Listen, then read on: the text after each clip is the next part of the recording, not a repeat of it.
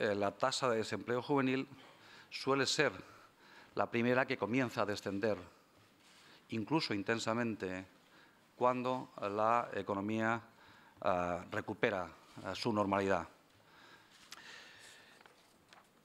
Hablaba de diálogo social y no me resisto a ah, recordar algunas de las cuestiones